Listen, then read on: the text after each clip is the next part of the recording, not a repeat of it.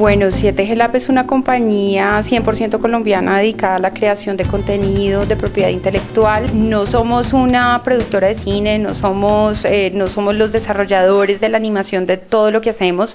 Nosotros somos los creadores del contenido y participamos en esa primera parte de creación conceptual, creación de personajes, elaboración de guiones. Eh, Nicolás Rodríguez, que es eh, director general y cabeza de la compañía, empezó a escribir algunas historias. Él tenía el sueño de hacer un héroe colombiano, un héroe suramericano, empezó a escribir la historia y empezó a darse cuenta que eh, detrás de esa pequeña historia podía desarrollar un cómic. Se convirtió en novela gráfica y asistimos al primer em, evento que fue prácticamente el que nos abrió los ojos y nos abrió las puertas al mundo del entretenimiento que fue Comic Con en San Diego. ProExport nos ha apoyado en asistir a los diferentes eventos que hemos tenido. Eh, en una de esas ferias tuvimos una conexión con Disney eh, y de ese evento del año pasado, noviembre, en octubre en MIPCOM, eh, pues salió el proyecto de coproducción que tenemos en este momento. Somos sí, 7G Lab, una empresa canadiense, una italiana, Pampa Films, que es la productora en Argentina, y Disney. Somos, digamos que todos los coproductores.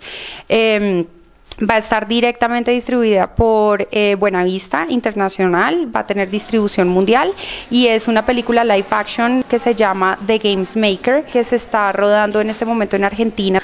Está basada en un libro de un eh, argentino que fue bestseller, eh, Pablo de Santis, y se llama El Inventor de Juegos. Aparte de la coproducción dentro de la película, nosotros estamos desarrollando nuestra especialidad y es hacer todo el desarrollo del 360 alrededor de la historia.